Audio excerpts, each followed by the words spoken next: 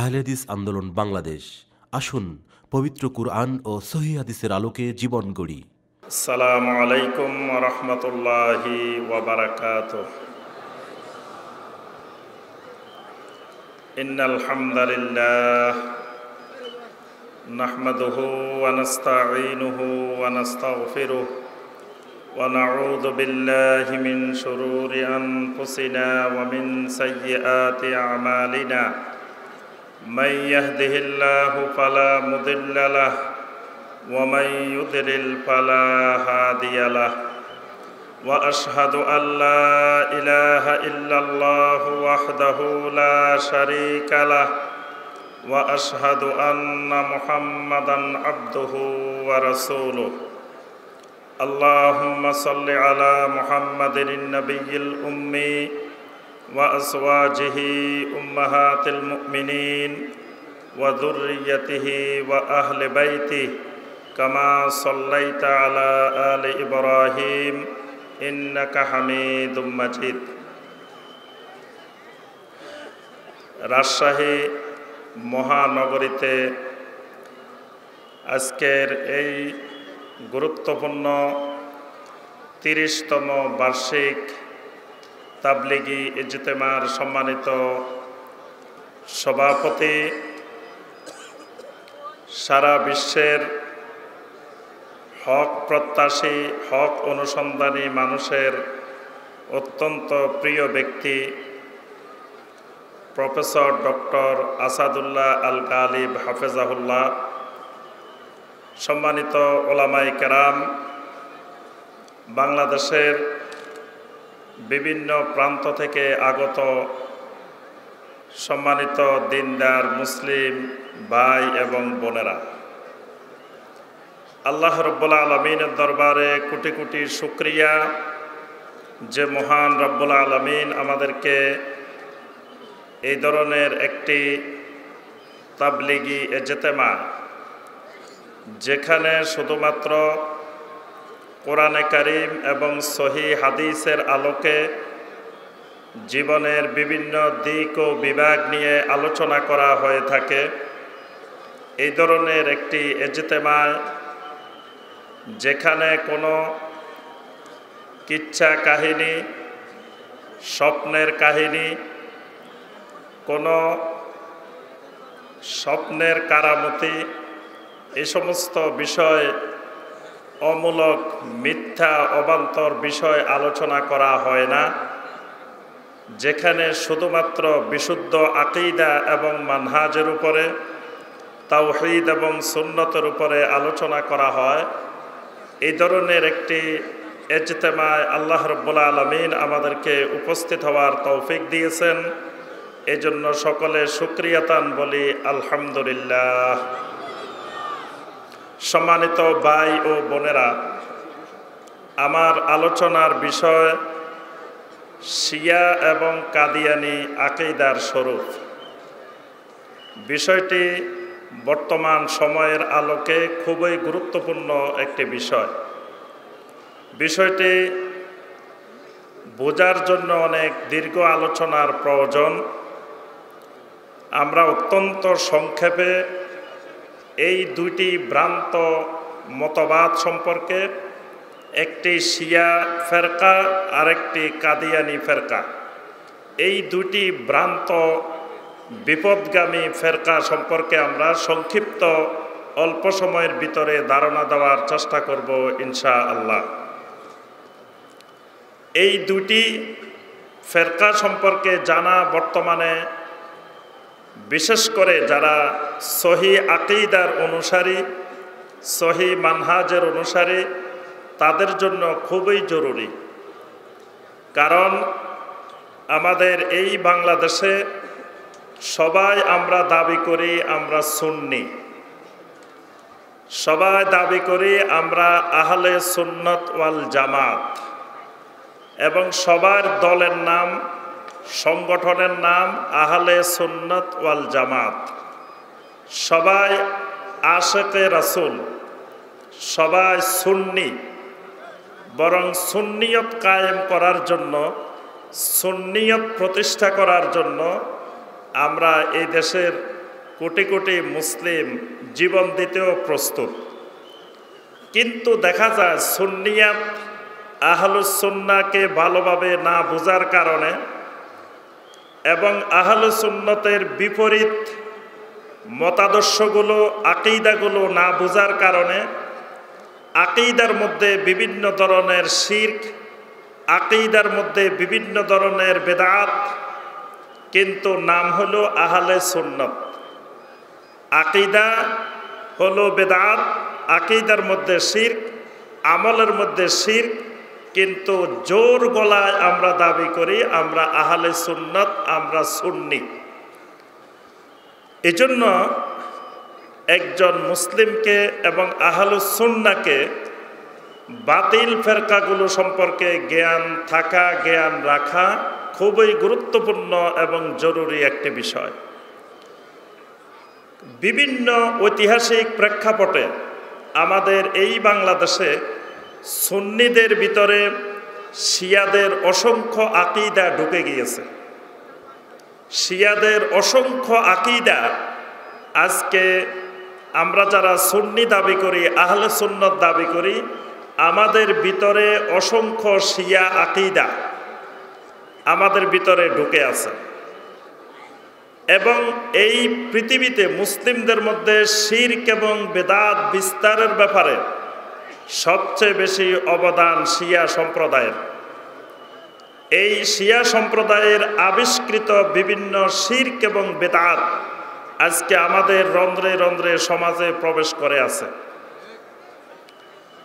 এবং এই আদর্শিক মিল থাকার কারণে, আদর্শিক মিল থাকার কারণে আকেইদার মিল থাকার কারণে এই বাংলাদেশের বিশাল সংখ্যক মুসলিমের ভিতরে শিয়াদের প্রতি মহব্বত, শিয়াদের প্রতি ভালোবাসা দেখা যায় অনেক বেশি এবং শিয়া প্রেমী মুসলিম এই দেশে বেশি।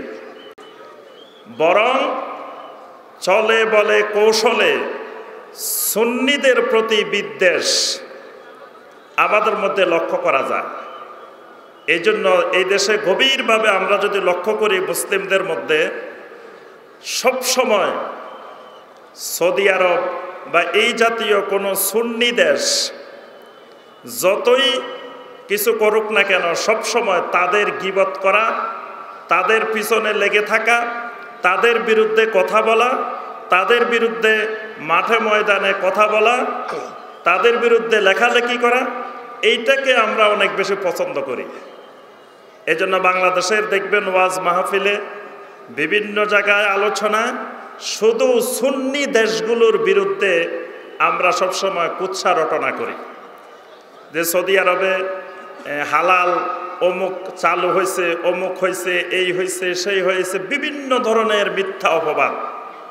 আবার দেখা যায় শিয়াদের প্রতি আমাদের ভালোবাসা। দেখা যায় শিয়াদেরকে আমরা জমানার মুজাদ্দিদ মনে করি। শিয়াদেরকে বর্তমান দুনিয়ার সঠিক মুসলিম মনে করি। অর্থাৎ বিভিন্নভাবে আমাদের মধ্যে শিয়া প্রেম, শিয়া ভালোবাসা আমাদের মধ্যে দেখা যায়। এর মূল কারণ আমাদের রক্তের ভিতরে, আমাদের ব্রেনের ভিতরে, আমাদের কালবের ভিতরে শিয়া আকিদা রন্ধ্রে রন্ধ্রে ঢুকে আছে। এই জন্যই আমাদেরকে শিয়া আকিদাগুলো সম্পর্কে ভালোভাবে জানা দরকার। আর দ্বিতীয় আরেকটা বিষয়, যেটা হলো কাদিয়ানি সম্প্রদায়। এই সম্প্রদায় আরেকটা মারাত্মক ইমান বিধ্বংসী, বিভ্রান্ত সম্প্রদায়। এই সম্প্রদায় নীরবে বাংলাদেশে এমন সুন্দরভাবে কাজ করে যাচ্ছে, অনেক শিক্ষিত এবং উঁচু লেভেলের অনেক মানুষ বর্তমানে আস্তে আস্তে এই কাদিয়ানি সম্প্রদায়ের জালে আটকা পড়ে যাচ্ছে। এবং বাহ্যিকভাবে বোঝাই যায় না যে এই লোকটা কাদিয়ানি। কিন্তু গভীরভাবে যখন তার সাথে কথাবার্তা বলা হয়, আলোচনা করা হয়, তখন বোঝা যায় যে এই লোকটার ভিতরে কাদিয়ানি সম্প্রদায়ের আকিদা, কাদিয়ানি সম্প্রদায়ের বীজ তার ভিতরে ঢুকে গেছে। এজন্য মুসলিম ওম্মাকে এই সম্প্রদায় সম্পর্কে সতর্ক করা জরুরি। কারণ এই সম্প্রদায়ের আকেইদাগুলো সম্পূর্ণরূপে কুফরি আকেইদা আমরা আসি প্রথমে শিয়া সম্প্রদায়ের সংক্ষিপ্ত পরিচিতি এবং শিয়া সম্প্রদায়ের আকিদাগুলো, তারপরে কাদিয়ানিদের সংক্ষিপ্ত পরিচিতি এবং কাদিয়ানিদের মৌলিক যেই আকেইদা যে কনসেপ্ট যেই ধারণাগুলো, তাদের মৌলিক ধারণা, সেগুলো সম্পর্কে আমরা সংক্ষেপে একটু আলোচনা করেই আমার আলোচনা শেষ করব ইনশাআল্লাহ। প্রথমে আসি আমরা শিয়া। শিয়া মানে কি? শিয়া আরবি শব্দ। শিয়া মানে হলো দল, অনুসারী, সাহায্যকারী। আল্লাপাক কোরআনে কারিমে শিয়া শব্দটা ব্যবহার করেছেন। আল্লাহ সুবান তালা বলছেন, ওয়া ইন্নামিন লা ইব্রাহিম। অর্থাৎ নু সালামের শিয়া হইল ইব্রাহিম সালাম। এখান থেকে কোরআনে করিমের এই আয়াত থেকে শিয়া সম্প্রদায় তারা নিজেদের নামকরণ করেছে। শিয়া তারা হলো শিয়াত মোহাম্মদুর রসুল্লাহ সাল্লাহ আলহি ওয়াসাল্লাম। অর্থাৎ আল্লাহ রসুল সাল্লাহ সাল্লামের শিয়া হইল আলী ইবনে আবি তালেব রাদি আল্লাহ তালান যেমন নূহ আলাইসালামের শিয়া নু আলাইসালামের অনুসারী নু আলাইসালামের দলের আওতাভুক্ত আল্লাহাক ইব্রাহিম আলহিসাল্লামকে বলছেন, তারা রাসুল সাল্লাহ সাল্লামের একান্ত অনুসারী ওয়ালি হিসাবে আলী রাদি আল্লাহ তালাহকে নির্ধারণ করেছে। এই জন্য তারা নিজেদের নাম রেখেছে যে তারা হলো শিয়া। আলী রাদি আল্লাহ তালাহর ফজিলতের ব্যাপারে অনেকগুলো হাদিস আল্লাহ রসুল সাল্লা সাল্লাম বিভিন্ন সময় বর্ণনা করেছেন। এবং বিশেষ করে আহলে বায়েতের ফজিলতের ব্যাপারে কোরআনে কারিমের কিছু একটা আয়াত নাজিল হয়েছে। এবং নবী সাল্লাহ ইসলাম অনেকগুলো হাদিস আহলে বায়েতের ফজিলত সংক্রান্ত বর্ণনা করেছেন। এই আহলে বায়েতের ফজিলত সংক্রান্ত আয়াত এবং হাদিসগুলোকে নিয়ে এবং পাশাপাশি আলী রাদি আল্লাহ তালাহুর ফজিলত সংক্রান্ত হাদিসগুলোকে নিয়ে এই শিয়া সম্প্রদায় বাড়াবাড়ি করে, অতিরঞ্জন করে তারা বিভ্রান্ত আকিদার দিকে চলে গিয়েছে। বিশেষ করে একটা হাদিস, যে হাদিসটি শিয়া সম্প্রদায়ের প্রত্যেক মসজিদে সব জায়গায় এই হাদিসটা লেখা থাকে, গাদির খুম। এই হাদিসটাকে তারা গাদির খুমের হাদিস হিসাবে খুব পরিচিতি লাভ করেছে এবং প্রচার করে থাকে। নবী সাল্লা সাল্লাম বিদায় হজ থেকে আসার সময় গাদির খুম এলাকায় নবী সাল্লাম একটা হাদিস বর্ণনা করেছিলেন। সেখানে নবী সাল্লাম বলেছিলেন, আলা ইউহান্নাস বা ইন্নামা আনা বাসার হে দুনিয়ার সমস্ত মানুষ, আমি একজন বাসার ইউ শেখু আইয়া রসুল ও রাব্বি। আমার আশঙ্কা হচ্ছে যে কোনো সময় আমার রবের দূত আমার কাছে চলে আসতে পারে, আমার মৃত্যু চলে আসতে পারে। বা উজিবা আসার সাথে সাথে আমি সেই রবের ডাকে সাড়া দিব। ও আনা তার ফিকুম সাকালাইন। তোমাদের কাছে আমি ভারী, অত্যন্ত ভারী দুটো জিনিস রেখে যাচ্ছি। আব্বালুহমা কিতাবুল্লাহ। এক নম্বরটা হলো আল্লাহর কিতাব। ফিহিল হুদা ওয়া নূর। এই আল্লাহর কিতাবের ভিতরে আছে হেদায়েত এবং নূর। ফাখুজু বি কিতাবিল্লাহি ওয়াস্তামসিকু বিহি। তোমরা আল্লাহর এই কিতাবকে শক্ত করে ধরো, দৃঢ়ভাবে ধারণ করো। এটাকে মজবুত করে ধরে রাখবে। আর দ্বিতীয় আরেকটা জিনিস তোমাদের কাছে রেখে যাচ্ছি ও আহলো বাইতি, আমার আহলে বায়েত নবী সাল্লাহ সাল্লাম তিনবার বললেন, আলা উদাক্কিরুকুমুল্লাহ ফি আহলে বাইতি, আলা উদাক্কিরুকুমুল্লাহ ফি আহলে বাইতি, আলা উদাক্কিরুকুমুল্লাহ ফি আহলে বাইতি। আমি তোমাদেরকে আহলে বাইতের ব্যাপারে স্মরণ করিয়ে দিচ্ছি, আমি তোমাদেরকে আহলে বায়েতের ব্যাপারে স্মরণ করিয়ে দিচ্ছি। অর্থাৎ আমার আহলে বায়েতকেও তোমরা মহব্বত করবে, তাদেরকে অনুসরণ করবে। এখানে নবী সাল্লা ইসলাম আহলে বায়েত বলতে শুধুমাত্র আলী রাদি আল্লাহ তালানহু ফাতেমা রাদি আল্লাহ তালানহা হাসান এবং হুসাইন রাদি আল্লাহ তালানহুমা এই চারজনকে বোঝান নাই। আহলে বায়েতের ভিতরে নবী সাল্লা সাল্লামের স্ত্রীরও অন্তর্ভুক্ত। আহলে বায়েতের ভিতরে বনু মুতালিব এবং সেখানে আবদুল্লাহ বিন আব্বাস এবং আব্বাস রাদি আল্লাহ তালাহুর অন্য অন্য ছেলের বংশধর তারাও এই আহলে বায়েতের ভিতরে অন্তর্ভুক্ত। অথচ শিয়া সম্প্রদায় এদের সবাইকে বাদ দিয়ে শুধুমাত্র এই চারজন তার সাথে নবী সাল্লা সাল্লামকে অন্তর্ভুক্ত করে পাক পাঞ্জাতর নাম দিয়ে। এবং আমাদের বাংলাদেশের ঘরে ঘরে দেখা যায় পাঁচ পাঁচ আঙ্গুলের একটা হাত দিয়ে ক্যালেন্ডার লাগানো থাকে, ছবি লাগানো থাকে, নাম হলো পাক পাঞ্জাতন মানে পাঁচ, পাঁচজনকে তারা এই আহলে বায়তের মধ্যে অন্তর্ভুক্ত করে নিয়েছে। নবী সাল্লা ইসলাম তার সাথে আলী রাদি আল্লাহ তালাহু ফাতেমা রাদি আল্লাহ তালাহা হাসান রাদি আল্লাহ তালাহু হুসাইন রাদি আল্লাহ তালাহু এই চারজন আর নবী সরাসলাম এই পাঁচজনকে দিয়ে পাক পাঞ্জাতন বানিয়ে নিছে। এবং বাংলাদেশের অনেক লক্ষ লক্ষ মানুষ পাক পাঞ্জাতনের বিভিন্ন কারামতে, পাক পাঞ্জাতনের বিভিন্ন ক্ষমতায় বিশ্বাসী। অথচ এই পাক পাঞ্জাতন এটা শিয়াদের আবিষ্কার। অর্থাৎ আহলে বায়েত শুধুমাত্র এই পাঁচজনের মধ্যে সীমাবদ্ধ নয়। এই আহলে বায়েতের ব্যাপারে তারা সীমা লঙ্ঘন করে, আস্তে আস্তে পর্যায়ক্রমে তারা একটা রাজনৈতিক বিভ্রান্ত সম্প্রদায় হিসাবে পরিচিতি লাভ করেছে। আল্লাহ রসুল সাল্লাহ ইসলাম ওম্মদকে বারবার সতর্ক করেছিলেন ইন্নাবানি ইসরাইল আলা মিল্লা। বানি ইসরাইল পর্যায়ক্রমে বাহাত্তরটা দলে বিভক্ত হয়ে গিয়েছিল। ওয়া ইন্না উম্মাতি তাফতারেকু আলা সালাতে ওয়াসাবিঈনা মিল্লা আমার উম্মত অচিরেই এরকম তেহাত্তরটা দলে বিভক্ত হয়ে যাবে। কুল্লুহুম ফিন্নারিল্লা উম্মাতা ওয়াহেদা। সবগুলো জাহান নামে যাবে, শুধুমাত্র একটা ফেরকা নাজাদ প্রাপ্ত সাহাবাইকরাম জিজ্ঞাসা করছিলেন মানহিয়া ইয়া রসুল্লাহ সেই নাজাদ প্রাপ্ত দলের লোক কারা? নবী সাল্লাহ সাল্লাম বলেন মা আনা আলাইহি ওয়া আসহাবি। আজকের এই দিনে আমি এবং আমার সাহাবিরা যেই আকিদার উপরে, যেই মানহাজের উপরে, যেই বিশ্বাসের উপরে কায়েম আছে, এইটা যারা অনুসরণ করবে, তারাই হবে কেয়ামত পর্যন্ত নাজাদ প্রাপ্ত দল। সোহান আল্লাহ এইখানে নবী সাল্লাহ সাল্লাম এই অনেকগুলো সম্প্রদায় বিভ্রান্ত হয়ে যাবে। এই ইঙ্গিত আল্লাহ রসুল সাল্লা সাল্লাম ওহির মাধ্যমে ওহির আলোকে আমাদেরকে ইতিপূর্বেই দিয়ে গেছেন। সেই আলোকে সর্বপ্রথম ইসলামের ভিতরে এই বিভ্রান্ত রাজনৈতিক দুটি সম্প্রদায়, একটা খারেজি আর একটা শিয়া সম্প্রদায় আবির্ভাব ঘটে। একটা থেকে অর্থাৎ এই রাজনৈতিক কারণে খেলাপথকে কেন্দ্র করে যে নবী সাল্লা ইসলামের মৃত্যুর পরে খেলাপথ হবে তার পরিবার থেকে।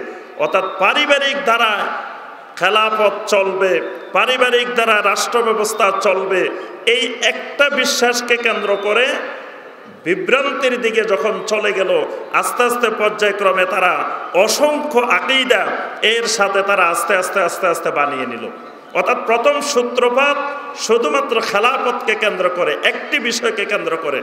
কিন্তু পর্যায়ক্রমে তারা আস্তে আস্তে অসংখ্য বিভ্রান্ত আকিদা নিজেরা তৈরি করে নিয়েছে। প্রথম নম্বরে তারা তৈরি করে নিয়েছে ইমামতের ব্যাপারে। এবং পরবর্তীতে এই শিয়া সম্প্রদায় তিন ভাগে, মৌলিকভাবে তিন ভাগে বিভক্ত হয়। তাদের বিভক্তি বিশ বাইশটি তাদের উপদল আছে। তবে মৌলিকভাবে তারা তিনটা গ্রুপে শিয়া সম্প্রদায় বিভক্ত। একটা হলো এস্তা আশারিয়া গ্রুপ, অর্থাৎ এরা হলো বারো জন ইমামে বিশ্বাসী একটা দল। আরেকটা হলো আশিয়া আল ইসমাইলিয়া ইসমাইলি শিয়া আরেকটা গ্রুপ।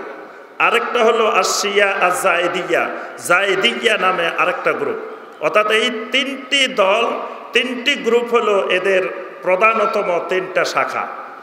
তো তবে সবচেয়ে বেশি বর্তমান ইরান সহ পৃথিবীর অন্যান্য দেশে যে শিয়া সম্প্রদায় বসবাস করে, এদের অধিকাংশই হলো আশিয়া এসনা আশারিয়া, অর্থাৎ বারো জন ইমামে বিশ্বাসী শিয়া সম্প্রদায়।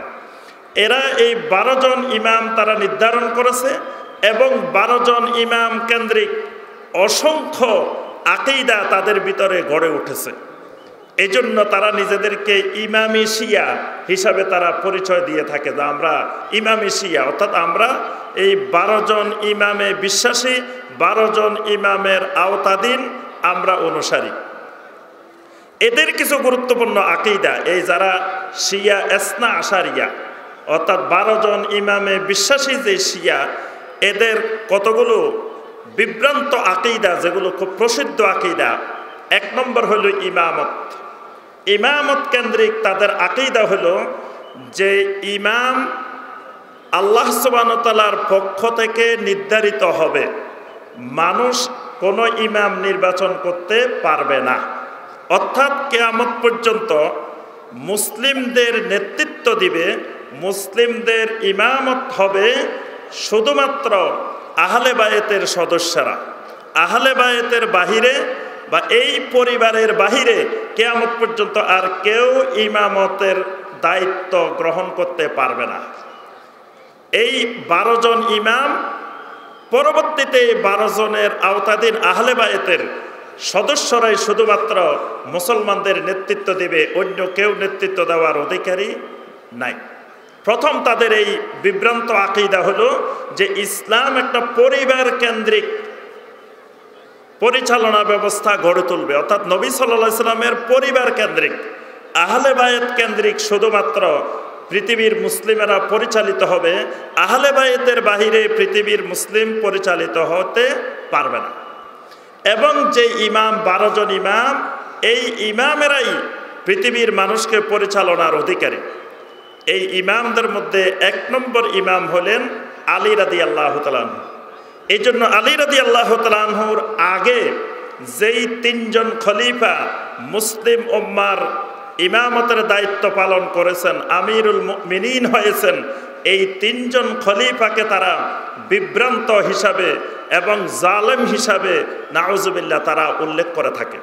এবং এই তিনজন খলিফাকে, খোলাফায় রাশেদিনের তিনজন খলিফাকে তারা লানত দেওয়া জায়েজ মনে করে, বৈধ মনে করে নাউজুবিল্লা এবং তাদের বইয়ের মধ্যে লেখা আছে, তাদের অনেক আলেমেরা এটা লিখেছে এবং রেফারেন্স দিয়েছে জয়নুল আবেদিন রাহেমাহুল্লার। এই রেফারেন্স দিয়ে তারা লিখেছে যে, কোনো ব্যক্তি যদি সকাল, বিকাল প্রতিদিন তিনবার করে আবু বকর রাদি আল্লাহ তালাহু এবং অমর রাদি আল্লাহ তালাহু এই দুজনকে যদি লানত করে তাহলে আল্লাহ পাক তাদেরকে সত্তর হাজার গুণা আল্লাহ মাফ করে দেন। নাউজুবিল্লা সত্তর হাজার নেকি দান করেন।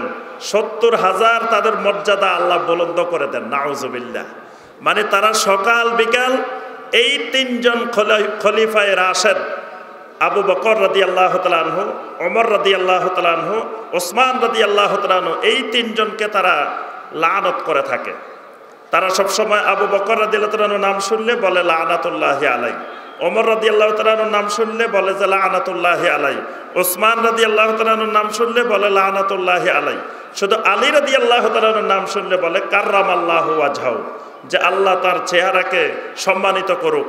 আর বাকিদেরকে তারা অধিকাংশ সাহাবাইকরামকে মোরতাদ মনে করে নাউজবিল্লা অধিকাংশ সাহাবিকে তারা মনে করে মোরতাদ, যে এরা ইসলাম থেকে খারিজ হয়ে গেছে, এরা মোরতাদ হয়ে গেছে নবী সালামের মৃত্যুর পরে। ইমামত কেন্দ্রিক তাদের প্রথম বিভ্রান্ত আকিদা, যে ইমামেরাই পৃথিবীর মুসলিম ওম্মার একমাত্র নেতা, তাদের অনুসারী যারা, তারাই মুসলিম, এর বাহিরে আর কেউ মুসলিম নয়।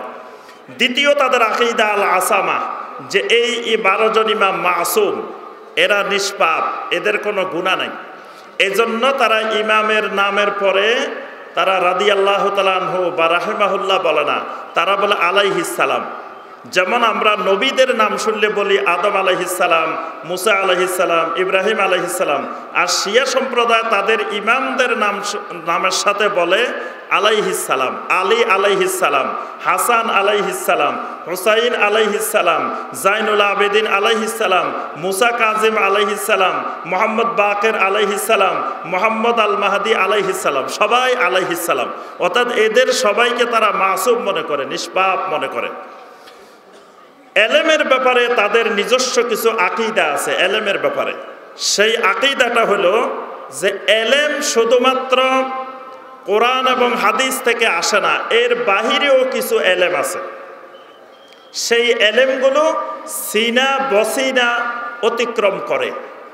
অর্থাৎ এই এলেমগুলো শুধু কিতাবের মধ্য থেকে পাওয়া যায় না, কোরআন এবং হাদিসে এই এলেমগুলো সব পাওয়া যায় না। এগুলো একজনের সিনা থেকে আরেকজনের সিনায় ট্রান্সফার হয়। একজনের সিনা থেকে আরেকজনের সিনায় যায়। তাহলে এই সিনার সাথে সিনা না মিলাইলে, সিনার সাথে সিনা যদি না মিলে, এলেম পাওয়া যায় না।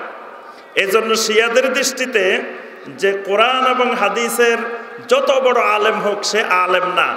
যতক্ষণ না সে একজন ফিরের কাছে বায়াত নিয়ে তার সিনা বসিনা এলেম গ্রহণ না করবে। এজন্য তারা সবসময় বলে যে, অনেক বড় আলেম মাওলানা রুমি, সেও কামেল হইতে পারে না যতক্ষণ পর্যন্ত না সে শামসে তিব্রিজির গোলামি না করে ওই সিনার এলেম গ্রহণ করে নেয় অর্থাৎ শিয়াদের থেকে এই নীতিমালা আমাদের ভিতরেও ঢুকছে। আমাদের দেশেও দেখবেন অসংখ্য মানুষ বিশ্বাস করে যে এলেম শুধু কোরআন হাদিসের মধ্যে না, এলেম শুধু কিতাবের মধ্যে না, এলেম সিনার সিনা থেকে সিনা সিনা বসিনা ফাঁস করে, সিনা বসিনা অতিক্রম করে। এটা শিয়াদের একটা গুরুত্বপূর্ণ আকিদা। কারণ তারা যেই নীতিমালাগুলো, যে কথাগুলো বলে, এটা কোরআনেও নাই, হাদিসেও নাই। তো জিজ্ঞাসা করলে যে এটা কই পাইছেন, কোথায় পাইলেন এই কথাটা? এটা তো কোরআন হাদিসে পাওয়া যাবে না। এটা আমাদের হুজুরের সিনার মধ্যে আছে, কালবের মধ্যে আছে। আচ্ছা এখন আপনাদের হুজুর জানলো কীভাবে? আমাদের হুজুরের কাছে এলহাম আসে। আমাদের হুজুরের কাশ্প খুলে গেছে। আমাদের হুজুর এলমে লাদুন্নি প্রাপ্ত হয়েছে। এইগুলো এই এলমেলাদুন্নি, এলহাম কাশফের মাধ্যমে অনেক গায়েবী এলেম লাভ করা এটা শিয়াদের একটা গুরুত্বপূর্ণ আকেইদা একটা বিভ্রান্ত আকেইদা তারা ইমামদের মজেজায় বিশ্বাস করে, ইমামদের অলৌকিক কর্মকাণ্ডে বিশ্বাস করে। এই জন্য তাদের বারোতম ইমাম যিনি, তার নাম হলো ইমাম মোহাম্মদ আল মাহাদি ইবনে হাসান আল আসকারি তিনি এই বারোতম ইমাম ছোটবেলায় ঘরের থেকে বের হয়ে গেছেন। বের হয়ে যাওয়ার পরে তিনি অদৃশ্য হয়ে গেছেন, গায়েব হয়ে গেছেন। তিনি আর ফিরে আসেন নাই। তিনি এখনও তাদের বিশ্বাস যে তিনি এখনও পৃথিবীতে আছেন এবং কেয়ামতের আগে ইমাম মাহাদি হিসাবে তাদের বারোতম ইমাম আবার আত্মপ্রকাশ করবেন। বর্তমান সময় আমরা মাহাদি নিয়ে বেশি আলাপ আলোচনা চলতেছে। সেই শিয়াদের আকিদা হইল যে আর কেউ ইমাম মাহাদি হবে না, তাদের বারোতম ইমাম যিনি, সেই অনেক আগে দুইশো ছাপ্পান্ন হিজড়িতে যিনি গায়েব হয়ে গেছেন, তিনি আবার কেয়ামতের আগে ইমাম মাহাদি হিসাবে আত্মপ্রকাশ করবেন। তারা একটি গুরুত্বপূর্ণ আকিদা পোষণ করে আত্মাকিয়া। তাকিয়া মানে আত্মরক্ষা করা। অর্থাৎ আত্মরক্ষার জন্য মিথ্যা কথা বানিয়ে বলা। দিনের ব্যাপারে মিথ্যা কথা বানিয়ে বলা, এটাকে তারা জায়জ বানায় নিছে। এটা তাদের মারাত্মক একটা বিভ্রান্ত আকিদা, তাকিয়ার আকিদা। অর্থাৎ তারা নিজেদেরকে রক্ষা করার জন্য মিথ্যা বানিয়ে বলা। এই নীতিটা তাদের একটা বিভ্রান্ত আকিদা। তারপরে তাহরিফুল কোরআন, তারা মনে করে, আমরা যে কোরআন তালাবাত করি, যে কোরআন এখন আমরা পড়ি যেই কোরআন আমরা প্রচার প্রসার করি, এই কোরআন নবী সালামের উপরে নাজিলকৃত কোরআন না নাউজুবিল্লা তারা বলে যে এই কোরআনের ভিতরে অনেক আয়াত ছিল যেগুলো আবু বকর, ওমর, ওসমান রাজি আল্লাহ আনহুম বিলুপ্ত করে দিছেন। কোরআনের ভিতরে ছিল আলী রাজি আল্লাহর খেলাপথের কথা, আহলে বায়তের খেলাপথের কথা, এই তিনজন সাহাবি আয়াতগুলো বাদ দিয়ে দিছেন। নাহজুবিল্লা তারপরে কোরআনের অনেক সুরা বাদ দিছেন, আবার অনেক সুরা তারা সংযুক্ত করছে। এইভাবে তারা বিশ্বাস করে যে এই কোরআন বিকৃত কোরআন।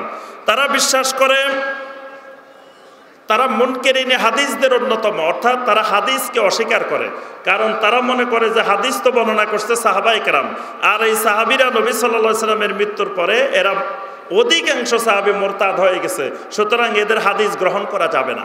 নাউজুবিল্লা এই জন্য এরা মনকেরিনে হাদিস হাদিস অস্বীকার করে। শুধুমাত্র কয়েকটা হাদিসকে তারা গ্রহণ করে। এর বাহিরে সমস্ত হাদিসকে তারা অস্বীকার করে। এদের গোপন মদদে, এদের বিভিন্ন ফেরকার মদদে আজকে বাংলাদেশেও ভিতরে ভিতরে একটা সম্প্রদায় ঘরে উঠতেছে মনকেরিনে হাদিস। আহলে কোরআনের নাম দিয়ে তারা নবী সাল্লা ইসলামের হাদিসকে অস্বীকার করে। এরকম একটা সম্প্রদায় শিয়াদের মদদে ভিতরে ভিতরে গড়ে উঠতেছে। এরা হলো শিয়া, এসনা, আশারিয়া। আরেকটা শিয়া হলো ইসমাইলিয়া, বাতেনিয়া শিয়া। এদের আকিদা হলো ইমাম বারো জন না। ইমাম, ষষ্ঠ ইমামের পরে সপ্তম ইমাম যিনি ছিলেন মুসা কাজেম। এই মুসা কাজেমের জায়গা তারা বলে যে এখানে ইসমাইল ইমাম হওয়ার যোগ্য ছিল ইমাম ইসমাইল না হয়ে মুসা কাজিম হয়ে গেছে। তখন ইসমাইলকে কেন্দ্র করে একটা সম্প্রদায় গড়ে উঠে এরা হলো ইসমাইলিয়া শিয়া। এরা হলো শিয়াদের মধ্যে সবচাইতে বিভ্রান্ত এবং সবচাইতে গুমরা। এরা, এদের মূল আকিদা হলো দুইটা ভিত্তির উপরে প্রতিষ্ঠিত। একটা উলোহিয়ত আর একটা বাতেনিয়ত। এই দুটা হলো এদের মৌলিক বিষয়। একটা হলো উলোহিয়ত। উলোহিয়ত মানে এরাই আল্লাহ রব্বুল আলমিন মানুষের ভিতরে ঢুকে যায়, মানুষ আল্লাহর ভিতরে ঢুকে যায়। এই আকিদার মূল আবিষ্কারক হলো এরা। এই ইসমাইল ইয়াসিয়া যেটা ওই যে মনসুর হাল্লাদের কাহিনী আমরা শুনি, যে একদিন মনসুর আল্লাহ আল্লাহর বাড়ি চলে গেছে, আরেকদিন আল্লাহ মনসুর হাল্লাদের বাড়িতে চলে আসছে। নাউজুবিল্লাহ। মনসুর হাল্লার ভিতরে আল্লাহ ঢুকে গেছে। এইরকম যে অলৌকিক, অদ্ভুত যে কথাগুলো আমরা শুনে থাকি, কুফরি কথাগুলো, সেরকি কথাগুলো, এগুলোর মূল আবিষ্কারক ইসমাইলিয়া শিয়ারা। এবং তারা বাতে বাতেনি আকিদায় বিশ্বাসী। আমাদের দেশে দেখবেন লক্ষ লক্ষ মানুষ বলে যে এলেম দুই রকমের, কিছু জাহেরি, কিছু বাতেনি। বাতেনি এলেম কিতাবের মধ্যে থাকে না, বাতেনি এলেম কিতাবের বাহিরে থাকে। কয় কোরআনের অর্থ দুই রকমের, একটা জাহেরি অর্থ, একটা বাতেনি অর্থ। এই জন্য এই বাতেনির কথা বলে তারা কোরআন একাডেমির বিকৃত অর্থ করে, বিকৃত ব্যাখ্যা করে, বিকৃত তাপসির করে। এই বাতেনিয়তের আবিষ্কার হল, আবিষ্কারক হলো ইসমাইলিয়া সম্প্রদায়। তৃতীয় শিয়াদের আরেকটি গ্রুপ আছে আর শিয়া আর জায়দিয়া। শিয়া জায়দিয়াটা তারা জয়নুল আবেদিন রাহমাহুল্লার ছেলে ইমাম জায়েদ। ইমাম জায়েদ রাহমাহুল্লাহ, তিনি অনেক বড় আলেম ছিলেন। তিনি ইমাম আবু হানিফা রহমতুল্লাহ সাথে তার গভীর ভালো সম্পর্ক ছিল। তিনি তাকে কেন্দ্র করে শিয়াদের আবার আরেকটা শাখা, জায়দিয়া শিয়া হিসাবে প্রসিদ্ধি লাভ করে। জায়দিয়া শিয়াদের আবার কিছু আকিদাগত পার্থক্য রয়েছে। তবে তিন ধরনের শিয়াদের মধ্যে ভালো আকিদা, পরিশুদ্ধ, তুলনামূলক ভালো আকিদা হলো এই জায়দিয়া সম্প্রদায়ের। এ তবে এরা ফাতেমা রাদি আল্লাহ তালানহার অলৌকিকত্বে এই সম্প্রদায়টা বিশ্বাসী। তবে তারা আবু বকর ওমর রাদি আল্লাহ তালানহুমাকে লানত করে না, তারা আবু বকর ওমর রাদি আল্লাহ সম্মান করে। আর তারা তাকিয়া, তারপরে ওই যে মাসুম, নিষ্পাপ, এ সমস্ত আকিদা এরা বিশ্বাস করে না। তবে এদের আকিদার ভিতরেও অনেকগুলো বাতিল, বিভ্রান্ত আকিদা এই জায়দিয়া শিয়াদের মধ্যেও রয়েছে। সম্মানিত বায়ু বোনেরা, এদের আকিদাগুলোর উপরে আহলুসুন্নাওয়াল জামাতের ওলামাইকরাম যুগে যুগে বিশাল বিশাল বই পুস্তক রচনা করেছেন। আমরা সংক্ষেপে কয়েকটা পয়েন্ট শুধু বললাম, যেই রোগগুলো আমাদের সুন্নিদের ভিতরে পর্যায়ক্রমে সংক্রমিত হচ্ছে, এবং এগুলো প্রতিনিয়ত আমরা, যারা আমরা সুন্নি দাবি করি, আহলে সুন্নত দাবি করি, তাদের ভিতরে এই আকিদাগুলো, এই বিভ্রান্ত নীতিগুলো আমাদের ভিতরে ঢুকে যাচ্ছে। এই জন্য এই ব্যাপারে আমাদেরকে সতর্ক থাকা দরকার যে শিয়া সম্প্রদায়ের আকিদাগুলো কোনো অবস্থায় যেন আমাদের আকিদার ভিতরে ঢুকতে না পারে। আমাদের সহি আকিদার ভিতরে যাতে এই বাতিল আকিদা, বিভ্রান্ত আকিদা, দলালা আকিদা আমাদের ভিতরে যাতে ঢুকতে না পারে। এই জন্য এদের এই আকিদাগুলো অনেকগুলো আকিদা কুফরি পর্যায়ের আকিদা, অনেকগুলো আকিদা সিরিকি পর্যায়ের আকিদা এবং অনেক ওলামাইকরাম এই সমস্ত আকিদায় বিশ্বাসীদেরকে কাফেরও বলেছেন। কারণ তাদের আকিদাগুলো কুফরি আকিদা, সেরকি আকিদা। এই জন্য আমার ভাই ও বোনেরা, আমাদেরকে এই আকিদাগুলো জেনে সতর্ক থাকা উচিত। দ্বিতীয় যে বিষয়টা আমরা বলব, সেটা হলো কাদিয়ানি সম্প্রদায়। কাদিয়ানি সম্প্রদায়ের যিনি আবিষ্কারক, যিনি এটার উদ্ভাবক, তিনি এই উপমহাদেশেরই একজন ব্যক্তি, তিনি ছিলেন গোলাম আহমদ কাদিয়ানি। এই সম্প্রদায় নিজেদেরকে কাদিয়ানি হিসাবে পরিচয় দেন না, তারা নিজেদেরকে আহমদিয়া মুসলিম জামাত হিসাবে পরিচয় দিয়ে থাকে। এই জন্য তারা সব জায়গায় মসজিদ বানায়, বিভিন্ন উপাসনালয় বানায় বানায় সেখানে পরিচিতি দেয় আহমদিয়া মুসলিম জামাত।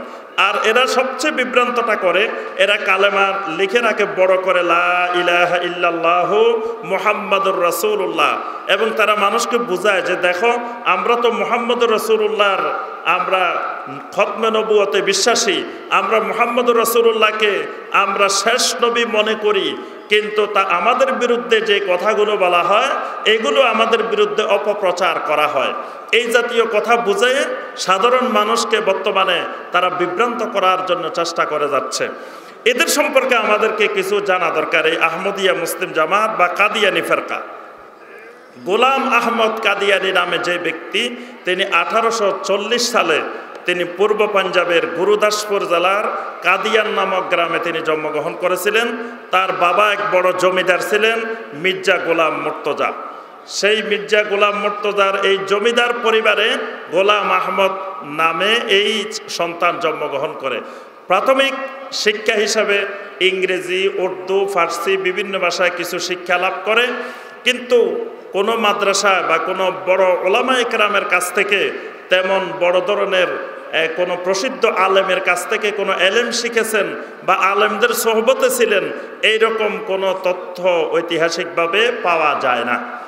এই ব্যক্তিটাই হঠাৎ করে এক সময় দাবি করে উঠল যে আমি মুজাদ্দিদ, যে আমি সংস্কারক, আমি তাজদিদ করতে চাই, আমি মুসলমানদের আকেইদা মুসলমানদের চিন্তা চেতনা, এগুলোর মধ্যে আমি একটা সংস্কার আনতে চাই।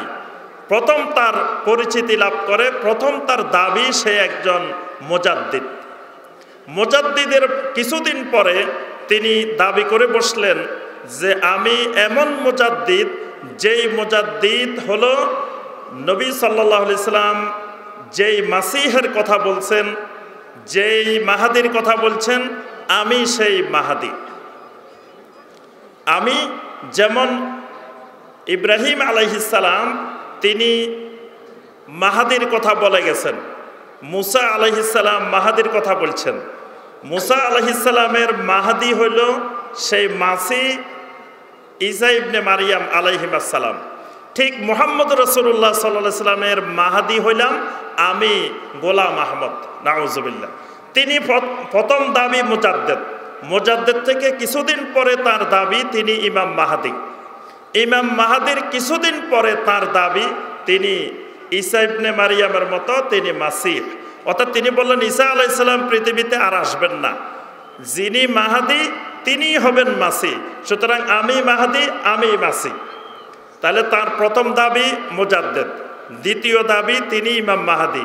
তৃতীয় দাবি, তিনি ঈসা ইবনে মারিয়াম যে মাসিহের কথা আমরা বিশ্বাস করি, তিনি সে মাসিহে মাউত, অর্থাৎ প্রতিশ্রুত সেই মাসি চতুর্থ দাবি, তিনি জিল্লি নবী মানে তিনি সরাসরি নবী, প্রথম এই কথা বলেন নাই। প্রথম তিনি বললেন যে আমি জিল্লি নবী। জিল্লি নবী মানে আমি নবীর ছায়া। আমি মোহাম্মদ রসুল্লাহ সাল্লাহ সাল্লামের আমি ছায়া। ছায়া নবী। মানে নবী সাল্লা সাল্লামের নবুয়ত সরাসরি খতম নবুয়ত শেষ, তবে নবী, নবীর আগমন শেষ, তবে নবীর ছায়া আগমন করতে পারে। আমি নবীর ছায়া। আমি জিল্লি নবী। প্রথম তার দাবি এটা। এরপরে সে বলল যে যিনি জিল্লি নবী হবেন মানে একই ব্যক্তি মুজাদ্দিদ একই ব্যক্তি মাহাদি, একই ব্যক্তি মাসি একই ব্যক্তি জিল্লি নবী। এই বিভিন্ন বিশাল বিশাল পদবি সব একত্রিত করে তার সর্বশেষ দাবি যে তার কাছেও ওহি আসতে পারে। যে যিনি এত কিছুর অধিকারী, যিনি মাসি যিনি মাহাদি, যিনি জিল্লি নবী, যিনি মুজাদ্দেদ, তো এইরকম একজন ব্যক্তির কাছেও ওহির আগমন আসা সম্ভব এবং আমার কাছেও ওহি আসে। নাওজবিল্লা এইভাবে সে আস্তে আস্তে পর্যায়ক্রমে মানে এই এক দাবির পরে আরেক দাবি, এক দাবির পরে এক দাবি পরিবর্তন করতে করতে এক সময় গিয়ে সর্বশেষ সে নিজেকে সরাসরি নবী হিসাবেই দাবি করে বসে। সর্বশেষ সরাসরি ডাইরেক্ট নবী বলে নাই যে আমি শেষ নবী বা আমার পরে আর নবী আসবে না বা আমি খাতামুন নবীন, এরকম বলে নাই। মানে বিভিন্নভাবে কায়দা কানুন করে। বিভিন্ন কিছু বুঝাই বুঝাই সর্বশেষ বলে যে নবী সাল্লাহ সাল্লামের কাছে যেমন ওহি আসে, আমার কাছে ওহি আসে। নবী সাল্লাহ সাল্লাম যেমন মানুষকে সংস্কার করেছেন হেদায়তের দিকে ডেকেছেন। আমি আবার মুসলিম উম্মাকে সংস্কার করতেছি, আমি আবার তাজদিদ করতেছি। আমি মাসি, আমি মাহাদি। এইভাবে বিভিন্ন দাবি করে মানুষকে বিভ্রান্ত করার চেষ্টা করে। তৎকালীন তার সময়কার বড় বড় ওলামা একরাম তার সাথে এই সকল বিষয় নিয়ে অনেক আলোচনা, অনেক বাহাস, অনেক মোনাজারা হয়েছিল। সর্বশেষ উনিশশো আট সালে এই উপমহাদেশে আহলে হাদিসের বিখ্যাত একজন আলেম, মাওলানা সানাউল্লাহ অমৃতসারী, সানাউল্লাহ অমৃতসরী রাহেমাহুল্লাহ, তার সাথে মোবাহালা হয় এই গোলাম আহমদ কাদিয়ানির। অর্থাৎ এই উপমহাদেশে এই কাদিয়ানি মতবাদের বিরুদ্ধে আহলে হাদিসের ওলামাই শক্ত ভূমিকা পালন করেছিলেন। এবং আহলে হাদিসের ওলামাই এই দেশে যত বাতিল ফেরকার আগমন ঘটেছে যুগে যুগে, সমস্ত বাতিল ফেরকার বিরুদ্ধে তারা সোচ্চার ছিলেন। তারা বই লিখেছেন, বক্তৃতা দিয়েছেন, আলোচনা করেছেন। বিভিন্নভাবে সমস্ত বাতিল ফেরকা, বাতিল আকিদার বিরুদ্ধে তারা যুগে যুগে সোচ্চার ছিলেন। তখন এই কাদিয়ানিদের বিরুদ্ধেও এই উপমহাদেশে সবচাইতে বেশি সোচ্চার ছিলেন আহলে হাদিসের ওলামা একরাম তার সাথে উনিশশো আট সালে মোবাহালা হয়। এই মোবাহালার এক সপ্তাহের মধ্যে এই মির্জা গোলাম আহমদ কাদিয়ানি কলেরায় আক্রান্ত হয়। কলেরা আক্রান্ত হয়ে শেষে টয়লেটে গিয়ে এই মলমূত্রের মধ্যে পড়ে এই মির্জা গোলাম আহমদ কাদিয়ানি মারা যায়। সে মারা গেছে, বিদায় নিয়ে গেছে। কিন্তু তার রেখে যাওয়া যেই বিষাক্ত আকেইদাগুলো যে বিভ্রান্ত আকেইদাগুলো রেখে গেছে, এইগুলোর অনুসারী বর্তমানে অমুসলিম দেশ থেকে প্রচার প্রসার হয়। অর্থাৎ এটার মেইন অফিস হল লন্ডনে, এটার মেইন অফিস আমেরিকা, এবং সেখান থেকে এটা পরিচালনা করা হয়। অর্থাৎ আমাদের ইমান আকিদার ভিতরে এই বিষগুলো ঢোকানোর জন্য বিভিন্ন দিক থেকে সেখান থেকে চেষ্টা চালানো হয় আর ভিতরে ভিতরে এগুলো বাংলাদেশে প্রচার প্রসার করা হয়। এর মধ্যে একটা হলো যে খতমে নবুয়তের বিষয়, যে নবী সাল্লাহ আলহিহাসাল্লাম শেষ নবী না, নবী সাল্লামের নবুয়ত শেষ না খাতাবন নবীনের বিভিন্ন ধরনের বিকৃত ব্যাখ্যা উপস্থাপন করে মানুষের সামনে বিভিন্ন ধরনের বই বিতরণ করা হয়। তারপরে মানে এরকম বিভিন্ন ফেতনা সৃষ্টি করে, বিভিন্ন নতুন নতুন ইসলামী নাম দিয়ে, সুন্দর সুন্দর নাম দিয়ে বিভিন্ন রকমের বই রচনা করা হয়েছে। এই বইগুলো সরল মানা মুসলিমদেরকে হাতে তুলে দেওয়া হয়। আর সেখানে বলা আছে যে মাহাদি যিনি হবেন, তিনি মাসি হবেন, মাসি আর মাহাদি একই ব্যক্তি। আর যিনি মাসি মাহাদি হবেন, তার কাছে ওহি আসবে, তিনি ওহির বাহিরে না। এইভাবে বিভিন্ন এই খতমানবুয়তের ব্যাপারে, ওহির ব্যাপারে, মাহাদির ব্যাপারে, মাসিহের ব্যাপারে এরপরে তাদের আরও কিছু বিভ্রান্ত আকিদা আছে। তারা পুনর্জন্মে বিশ্বাসী। মানে এখানে অনেক মুশ্রিকদের বিভিন্ন বিভ্রান্ত আকিদাও তারা ইসলামের মধ্যে নিয়ে এসেছে। তারা এই উপমহাদেশের রামচন্দ্র, কৃষ্ণ, বুদ্ধ, তারপরে নানক, এদেরকে এক একজন নবী হিসাবে তারা বিশ্বাস করে। তারা বিভিন্ন বইতে লিখেছে যে এরা এক একজন আল্লাহ নবী ছিল। এইভাবে এই বিভ্রান্ত বইগুলো প্রচার প্রসার করে আমাদের মুসলিমদের আকিদা বিনষ্ট করার প্রচেষ্টা চালাচ্ছে। তবে সবচেয়ে ভয়ানক হলো যে কিছু সম্প্রদায় আছে তারা নিজেদেরকে মুসলিম দাবি করে না। যেমন বাহাই সম্প্রদায়। বাহাই সম্প্রদায়ও বাংলাদেশে কাজ করে, তারা বাংলাদেশে দাওয়াতে কাজ করে, বাহাই সম্প্রদায়। তারা বাহাউল্লাহর অনুসারী, ইরানের বাহাউল্লাহর অনুসারী। তবে তারা সরাসরি বলে যে, আমরা মুসলিম না, আমরা বাহাই ধর্মে বিশ্বাসী। আমরা আলাদা আরেকটা ধর্মে বিশ্বাসী। কিন্তু কাদিয়ানিদের সমস্যাটা হলো, তারা নিজেদেরকে অন্য ধর্মাবলম্বী এটা মনে করে না। তারা নতুন নতুন বিভিন্ন বিভ্রান্তকর বিষয়, বিভিন্ন ইমান বিনষ্টকারী আকিদা মানুষের মধ্যে প্রচার প্রসার করে, কিন্তু নিজেদেরকে তারা অমুসলিম বলে না, বা আমরা কাদিয়ানি ধর্মের অনুসারী, বা অন্য ধর্মের অনুসারী এটা বলে না, বলে যে আমরা আহমদিয়া মুসলিম জামাত, আমরা মুসলিম, আমরা লা ইলাহাল্লাহ মোহাম্মদ রসুল্লাহ বিশ্বাসী। এই কথাটা বলে মানুষের ভিতরে এই আকিদাগুলো তারা ঢুকানোর চেষ্টা করে। এই জন্য মুসলিম উম্মার জন্য এরা মারাত্মক এক ক্ষতিকর এবং ইমান আকিদা বিনষ্টকারী একটা বাতিল ফেরকা। সম্মানিত বায়ু বোনেরা, তো আমরা বর্তমানে সারা বিশ্বব্যাপী এবং বিশেষ করে আমাদের এই বাংলাদেশে এই দুটি বাতিল ফেরকার বিভিন্ন ধরনের অপতৎপরতা আমাদের এই বাংলাদেশে চলতেছে। এই জন্য আমাদেরকে এই দুটি ফেরকার আকিদাগুলো সম্পর্কে এই দুটি সর দুটি ফেরকার বাতিলতা সম্পর্কে আমাদেরকে জ্ঞান অর্জন করতে হবে এবং এদের আকিদা থেকে জনগণকে সচেতন করতে হবে। আর কাদিয়ানিদের ব্যাপারে এই দেশের এবং সারা পৃথিবীর সমস্ত ওলামায় কেরাম এদের মতবাদকে কুফরি মতবাদ এবং এদেরকে অমুসলিম হিসাবে পৃথিবীর বিভিন্ন দেশের সমস্ত ওলামায় কেরাম কাবার ইমাম থেকে শুরু করে মদিনার ওলামা ইকরাম থেকে শুরু করে সবাই তাদেরকে অমুসলিম হিসাবে ফতোয়া দিয়েছেন, ঘোষণা দিয়েছেন। এজন্য আমাদের দেশেও দাবি উঠেছে দীর্ঘ সময় ধরে যে এদেরকে অমুসলিম ঘোষণা করা হোক। এরা মুসলিমের পরিচয় দিয়ে অমুসলিম আকিদা শিরকি কুফরি আকিদার প্রচার প্রসার করতেছে। এজন্য আমরা এই কাদিয়ানি মতবাদের আকিদার স্বরূপ কাদিয়ানি মতবাদের আকিদাগুলো ভালো করে জানা দরকার, বোঝা দরকার এবং যুগে যুগে আহলে হাদিসের ওলামাই কেরাম এ সকল বাতিল ফেরকার বিরুদ্ধে যেভাবে সোচ্চার ছিলেন, আমাদেরকেও সেইভাবে সোচ্চার হওয়া উচিত। আল্লাহ রব্বুল্লা আলমিন আমাদেরকে বিশুদ্ধ আকিদা, বিশুদ্ধ মানহাজের অধিকারী হওয়ার তৌফিক দান করুন। আল্লাহ সুবানতাল্লাহ আমাদের সবাইকে বিভিন্ন ধরনের কুফরি সিরকি এবং বেদাতি বিভিন্ন আকিদা থেকে আল্লাহ রব্বুল্লা আলমিন আমাদেরকে হেফাজত করুন। আল্লাহ রব্বুল্লা আলমিন আমাদের সবাইকে কোরআনে করিম এবং সহি হাদিসের অনুসরণ করার তৌফিক দান করুন। আল্লাহ রব্বুল আলমিন এই তাবলিগি ইজতেমাকে কবুল মঞ্জুর করে নিন।